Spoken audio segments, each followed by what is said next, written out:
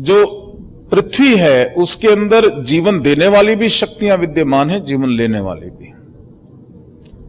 और तीन परसेंट शक्तियाँ जीवित होती हैं। 97 परसेंट जो है, वो डॉर्मेंट फॉर्म में होती है। वो सुप्त अवस्था में होती है।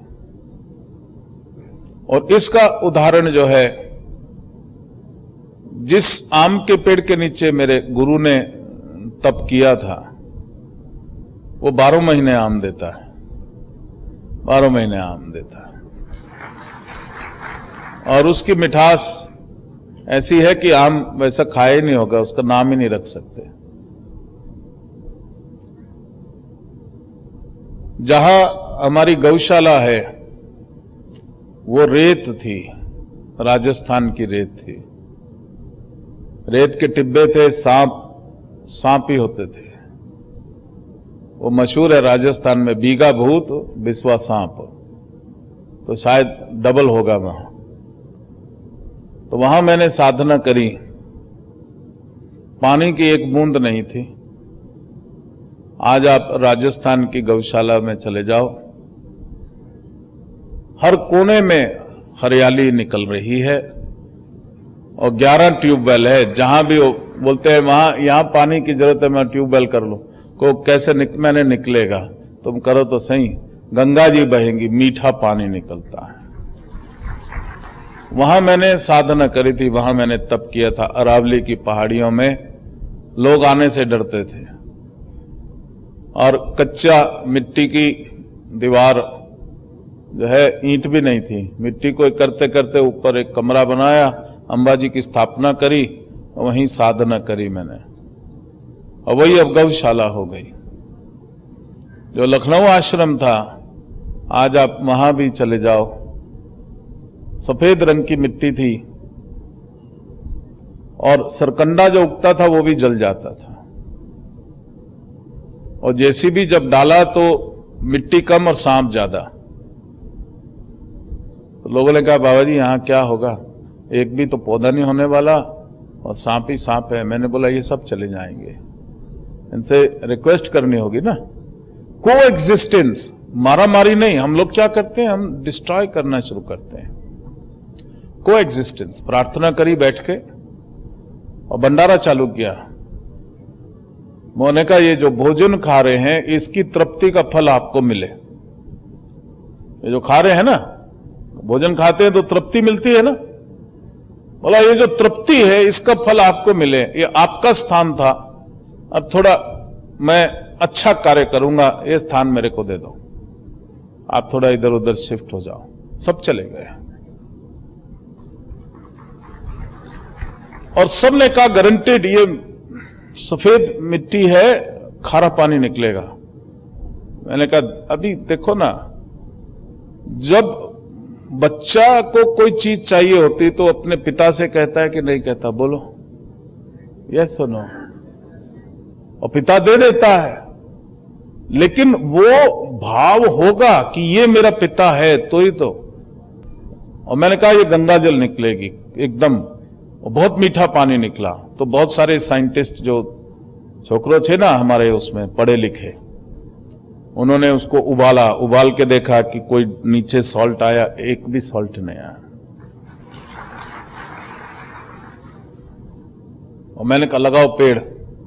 बोले, लगेंगे? बोला, लगाओ ना। बोला, फिर केमिकल खाद पोटास डालते हैं। बोला, कुछ नहीं डालना। मेरे पास है सप्लाई में डालूँगा। कि कहाँ से? मैं बोला, ऊपर से डालूँगा मैं। मेरे पास बहुत से आप देखोगे, नींबू का साइज़ ऐसे है, मौसम्बी जितना। अमरूद बाहर से काला, अंदर से लाल। और इतना आम, हर फल जो है वहाँ होता है। और जगह कितनी है? सिर्फ़ ढाई एकड़। और एकदम हर चीज़ वहाँ उगती है। और रंग जो है वो भी सफ़ेद रंग गायब हो गया। ये मैं इसलिए बताना चाहता हूँ कि जो शिव योगी है, मैं बोलता हूँ कि बंजर ज़मीन ले लेना। मैं जो तुमको बता रहा हूँ, इसको उपजाऊ कर लोगे तुम। वो विधि, वो साइंस, थोड़ी सी साइंस बताता हूँ तुमको। थोड़ी सी साइंस बताता हूँ। जो मिट्टी लो ना, मिट्टी दिखती है। कुछ दिखता है मिट्टी के अंदर? नहीं दिखता ना? अब माइक्रोस्कोप लेना। अब दिखेगा कि नहीं दिखेगा? बहुत से जीव चलते दिखाई देंगे। ये साधु बाबा को यहाँ माइक्रोस्कोप फिट छे।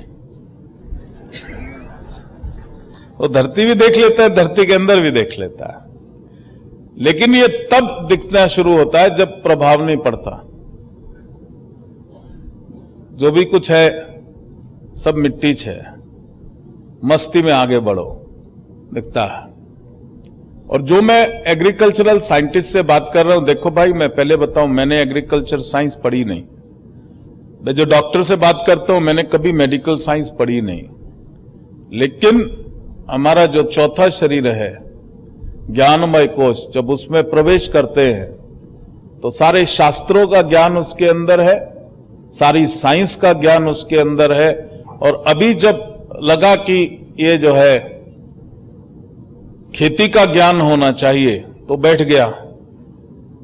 तो जो पहला चीज़ है, जो जीवाणु, तीन परसेंट जीवन देने वाले जीवाणु है और तीन परसेंट जीवन को लेने वाले जीवाणु हैं। जो देने वाले हैं, वो पॉजिटिव एनर्जी के है, उसमें ज्योति निकलती, प्रकाश निकलता है। जो लेने वाले हैं, उसमें से अंधकार निकलता है। समझ आ गई बात? यस नो अगर जीवन देने वाले जीवाणु धरती में ज़्यादा होंगे तो धरती उपजाऊ होगी कि बंजर होगी, बोलो? और जीवन लेने वाले जीवाणु अगर धरती में ज़्यादा होंगे तो धरती उपजाऊ होगी कि बंजर होगी, बोलो? अब आप रसायन डालते हो। जब आप केमिकल डालते हो धरती माँ के ऊपर तो वो जो जीवन देने वाले जीवाणु, वो मरते हैं। तो जब वो मरते हैं लाइफ से वो डेथ जो है डिकेइंग वो कम होता है, जब ये बढ़ा। और जे, जब ये कम हुआ तो जीवन लेने वाले जीवाणु, वो बढ़ गए।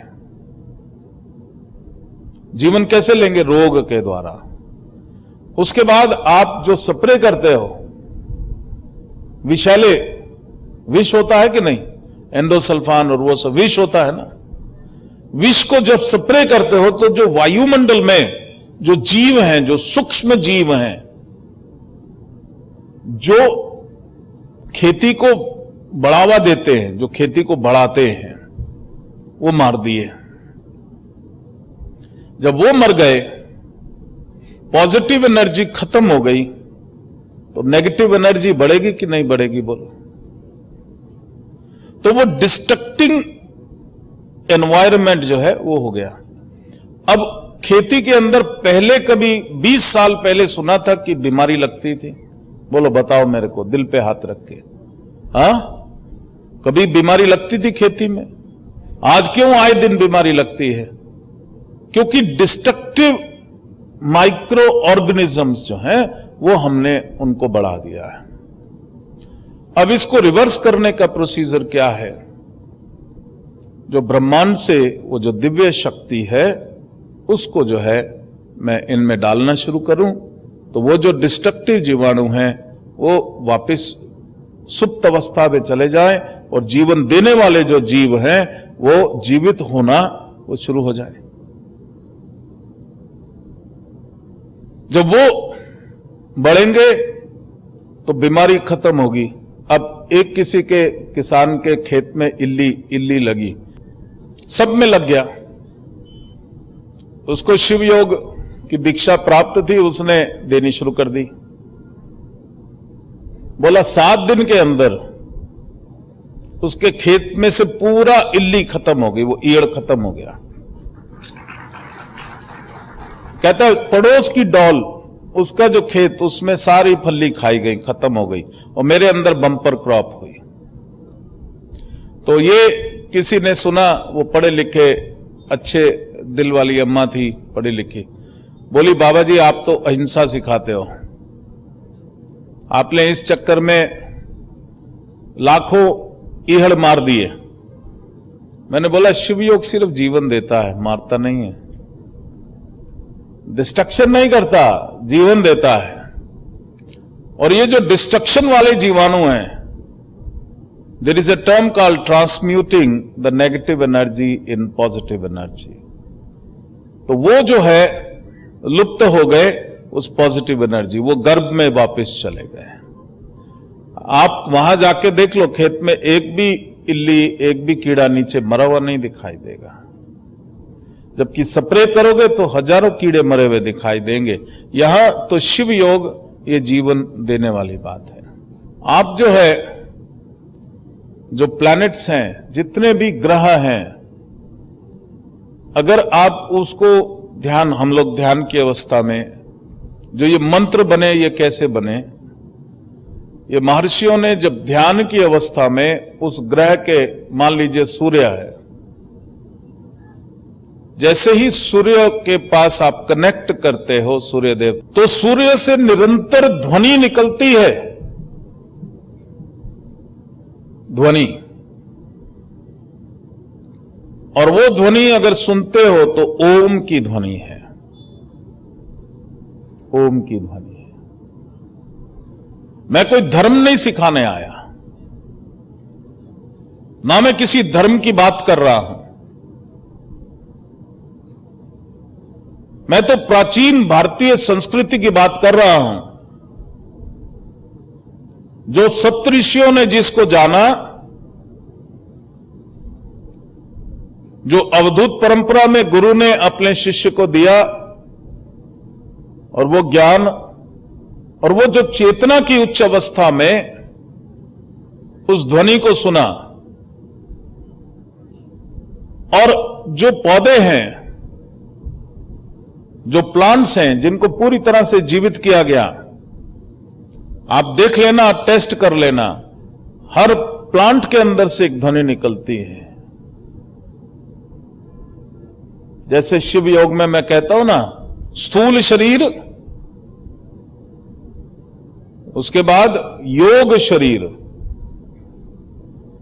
फिर नाद शरीर, फिर सिद्ध शरीर, फिर ज्योतिर्मय शरीर। ये मेरे प्रोफेसर यहीं बैठे हैं, पर्वत की चोटी के ऊपर। ये ये जो ज्ञान, इन्हीं से मिलता है मुझे। और इसको किसी भी यूनिवर्सिटी, नासा के अंदर ले जाना, वो बोलेंगे, ये हमारा रिसर्च पॉइंट है। जो योग शरीर है, मैंने कहा कि जो आपका शरीर है, उसके अंदर 50 ट्रिलियन सेल्स हैं छोटे छोटे उसी तरीके से जो आपके बीज हैं, जो खेती के बीज हैं, उसमें वो जीन्स हैं। द जेनेटिक ज़्यादा डिटेल में नहीं जाऊँगा मैं उसके। लेकिन जो पौधा जो उगता है, उसको अगर, क्योंकि वो जो साउंड फ्रीक्वेंसी है, वो इतनी हाई है कि कानों से सुनाई नहीं देती। जो योगी होता है, वो पाँच इंद्रियों के बाद वो अंतर की इंद्रियाँ जब जागृत करता है, अंतकरण जागृत होता है तो उसको सूक्ष्म जीवों के ध्वनि भी सुनाई देती है, जब वो सुनना चाहे। तो अगर आप किसी प्लांट को सूक्ष्म रूप से आप ध्यान लगाना फोकस करना, वो भी एक ध्वनि एमिट करता है, एक ध्वनि एमिट करता और अगर एक नेचुरल ऑर्गेनिक प्लांट है, वो भी एक ध्वनि एमिट करता है। और जो केमिकल रसायन से पैदा किया गया, वो भी एक ध्वनि एमिट करता है। और अब आप ब्रह्मांड में जब ऊपर जाते हैं, सूर्य एक ध्वनि उत्पन्न करता है। नौ के नौ ग्रह अलग अलग ध्वनि उत्पन्न करते हैं, जिसको मंत्र कहा गया। मंत्र, शब्द जो है। और वहाँ से जो है, प्रकृति से जो है, वो जीवन देने वाली शक्ति, वो शिव योग की जीवन दायनी शक्ति जो है, वो हम सबको मिलती है। ये पौधों को भी मिलती है, वृक्ष को भी मिलती है, गाय को भी मिलती है। मनुष्य उसको रोक रहा है जेनेटिक टेम्परिंग करके केमिकल रसायन डाल के, वो डिस्ट्रक्टिव एनर्जी क्योंकि पूरे ब्रह्मांड में जीवन देने वाली एनर्जीज भी व्याप्त हैं और पूरे ब्रह्मांड में सुनामी लाने वाली डिस्ट्रॉय करने वाली, भूकंप लाने वाली, वो एनर्जीज भी व्याप्त है। सिर्फ़ मनुष्य ही एक ऐसा जीव है जो शास्त्रों में कहा है, जो देवताओं को भी पुष्ट करता है और असुरों को भी पुष्ट करता है। इसका क्या मायने है कि जो आपकी इंटेंशन है, जो आपकी भावना है, वो उस एनर्जी का, वो उसको खींचती है। अब आप सोच लो कि आपने कौन सी एनर्जी को खींचना है, पॉजिटिव कि नेगेटिव को? तो वो जो मंत्र है, जो कि पूरे ब्रह्मांड में जो जीवन देने वाले मंत्र हैं, यदि उनको उन पौधों के साथ जोड़ देते हैं, उन प्लांट्स के साथ जोड़ देते हैं तो उनकी जो उपज है उनकी जो शक्ति है, उनका जो स्वास्थ्य है, वो कई गुना बढ़ जाता है। क्योंकि वो एक एक फर्टिलाइज़र तो आप ग्रॉस रूप से, स्थूल रूप से दे रहे हो। शिव योग जो है, वो कॉस्मिक फर्टिलाइज़र है। और उसी तरीके से वही ध्वनि, जो जीवन देने वाली ध्वनि है, यही यदि पशुओं के ऊपर आप डालते हैं, गाय के ऊपर डालते हैं तो उनकी दूध देने की क्षमता जो है, वो बढ़ जाती है। तो इस प्रकार से ये एक विज्ञान, और यदि आप करोगे तो आपकी खेती बढ़ेगी। अब आपने क्या करना है कि एक खेत आप वैसा रख लेना टेस्ट के लिए, जिसमें बिल्कुल खाद नहीं डालना, केमिकल खाद नहीं डालना। और बाकी खेतों में आप जैसे कर रहे हो, वैसे करना वो शक्ति जब आप धरती में डालते हो तो उसमें जीवन देने वाले जीवाणु जीवित होना शुरू हो जाते हैं। उसके पश्चात आप धरती को जोत देते हो। इसके दो फ़ायदे और हैं। एक तो जीव, जीवन देने वाले पैदा होते हैं। दूसरे जो खरपतवार के जो बीज हैं जो सबसे बड़ी मुसीबत है खरपतवार। वो सुप्त अवस्था में धरती में पड़े हुए हैं। यदि आप एक सवा महीना जुताई से पहले शक्ति आप डालना शुरू कर देते हैं तो वो जो खरपतवार के जो बीज हैं, सोई हुई अवस्था में है, जैसे ही शिव योग की शक्ति डालते हो, वो जीवित हो जाएगा। जीवित होंगे, वो फुटाव हो जाएगा, वो हरे हो जाएँगे। अब आपने जोत दिया उसको। तो वो खत्म हो गए कि नहीं हो गए? बोलो तो एक इससे बचाव हो गया। दूसरा, वो धरती की उपज शक्ति उर्वरकता बढ़ गई। वैसे तो आप केमिकल खाद पहले से ही अगर आप कम डालो, वो भी आप ट्राई करके देख सकते हो, लेकिन ये जो रसायन है, इसका मुझे ज्ञान नहीं। धरती का तो मुझे पूरा ज्ञान है। ये रसायन कितने डिस्ट्रॉय कर चुके हैं, धरती को ये मुझे नहीं पता। इसलिए मैंने कहा कि आप एक खेत जो है, उसमें बिल्कुल कुछ नहीं डालना, पहले दिन से ही। सिर्फ़ शिव योग की खाद डालना, शिव योग की शक्ति डालना, खाली यही डालना। और जुताई करने के एक महीना पहले से डालने रहना। अब जो बीज आप लेके आए आपसे प्रार्थना है, अभी एक ऐसा बीज भी आ गया है कि वो बीज को जब फ़सल उगती है तो वो दोबारा बोने पे कोई फ़सल नहीं उगती। ऐसा बीज है कि नहीं है? उसको मत यूज़ करना। नहीं तो हम गुलाम हो जाएँगे। फिर हमारी गर्दन पकड़ लेगा। बीज देगा ही नहीं, हम फ़सल उगा नहीं सकते। तो हम तो गए ना काम से।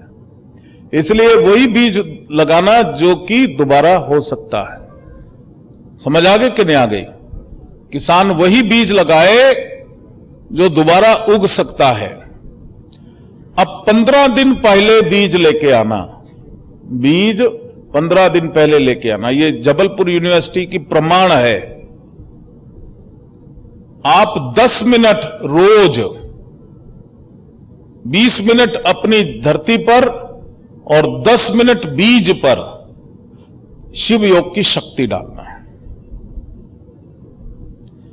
और ये मैंने गारंटेड कहा है चैलेंजिंग कहा है कि मॉलिक्यूलर स्ट्रक्चर मॉलिक्यूलर स्ट्रक्चर कोई बदल नहीं सकता। हम बदल सकते हैं।